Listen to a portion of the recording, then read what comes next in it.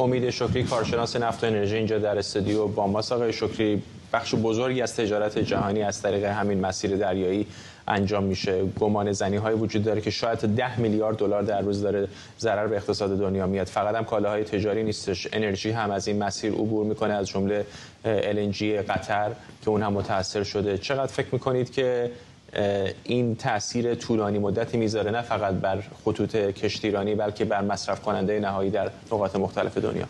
بله همونطور که شما اشاره کردید بخش مهمی از تجارت جهانی تقریبا 12 درصد تجارت جهانی و 40 درصد تجارت روزانه اتحادیه اروپا از طریق دریای سرخ انجام می‌گیره که در بخش انرژی هم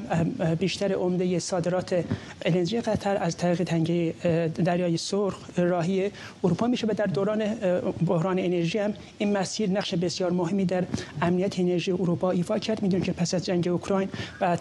تحریم اروپا و قطع صادرات گاز روسیه النجی قطر نقش بسیار مهمی در امنیت انرژی اروپا ایجاد کرد. این مسیر بهترین و کمترین مسیر و امنترین مسیر برای انتقال النجی قطر بود. اگر به سوال شما برگردم با توجه به اینکه در هفته گذشته حملات آمریکا و انگلستان هم به حوثی‌ها نتونست مانع حمله حوثی‌ها به کشتی ها بشه نمیشه انتظار داشت که در کوتاه مدت و حتی میان مدت امنیت این مسیر برگرده و به شرکت های کشتیرانی بتونن که آزادانه کالا و خدمات و به انرژی رو از این مسیر به بازار مقصد ترانسفر بکنن و مجبور هستن که مسیر دماغ امید و مسیر آفریقا رو انتخاب بکنن که یعنی به معنی افزایش هزینه و افزایش مصرف سوخت توسط تانگرها و همون هزینه بیمه خواهد شد که اون بر به مصرف کننده نهایی هم طریق افزایش تورم اثر خودش رو نشون خواهد داد و داریم که اثرش رو می‌بینیم که شما اشاره کردین که حداقل 10 میلیارد دلار راحت از این مسیر تجارت جهانی سال صدمه میشه. عبور از طریق جنوب قاره آفریقا مسیر هم که خودتون اشاره کردید بسیار طولانی و پرهزینه هست. همین الان مثلا شرکت مثل تسلا میگن مجبورن تولیداتشون رو در اروپا برای مدتی دست کم محدود بکنن. یک گذرگاه هایی در دنیا وجود داره که بسیار استراتژیک و مهم هستن مثل پانامایی بر در نیمکره غربی یا همونجا در منطقه دریای سرخ و کانال سوئز و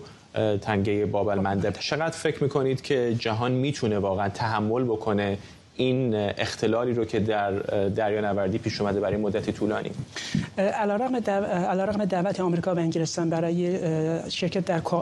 ائتلافی که علیه حوثی‌ها تشکیل شده فعلا کشورهای منطقه به خاطر منافع خودشون و ترس از حملات پهپادی و موشکی به تاسیسات نفتی خودشون وارد این ائتلاف نشدن. ولی امروز در آخرین چیزی که من توی توییتر چک کردم دانمارک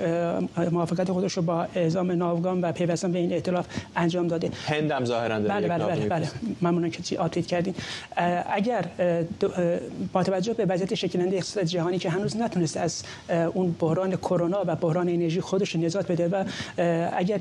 حملات حوثی‌ها که به نظر می‌رسه مصمم هستند و ادامه پیدا خواهد کرد اقتصاد جهانی به ویژه کشورهای عمده مصرف کننده که عمده خدماتشون از این مسیر با کمترین هزینه به دستشون می‌رسه. اگر بخوام با از طریق آفریقا این اجناس رو دریافت بکنن هم به معنای افزایش هزینه و افزایش مدت زمان دریافت کالاها خواهد بود که همون که در سال قبلی عرض کردم به معنای افزایش تورم در بخش مصرف خواهد بود و جامعه جهانی مجبور هستش که از هر طریقی شده بتونه یا از طریق حملات نظامی یا از طریق دیپلماسی که فعلا دیپلماسی تاثیر خودش نشون نداده حملات نظامی هم که هفته گذشته توسط آمریکا و انگلستان انجام شده با توجه به اینکه در دهه گذشته یمن درگیر جنگ داخلی بوده و تاسیسات خاصی هم نداره که با انهدام اونها بشه. مانع فعالیت حوثی ها شد و تداوم حمایت جمهوری اسلامی از حوثی ها هم که از طریق حوثی ها داره امنیت ترانزیت جهانی رو و امنیت زنجیره تدارک رو دچار ریسک جدی می‌کنه. به نظر نمی‌رسه که جامعه جهانی بتونه به طور کامل حل بکنه ولی بدون ائتلاف بین المللی فکر نمی کنم که حملات دو روز اخیر به آینده آمریکا و انگلستان بتونه این مشکل ناامنی در تنگ در دریای سرخ رو حل بکنه و امنیت به مسیر برگرده و بازار جهانی بیش از این صدمه نبینه. ممنونم از شما. امید شکری کارشناس نفت و انرژی اینجا در استودیو با وزارت بهداشت حماس میگه شمار فلسطینی هایی که در حمله اسرائیل به نوار غزه از هفتم اکتبر تا به حال کشته شدن به دست کم 24620 نفر رسیده. در همین حال بنیامین نتانیاهو نخست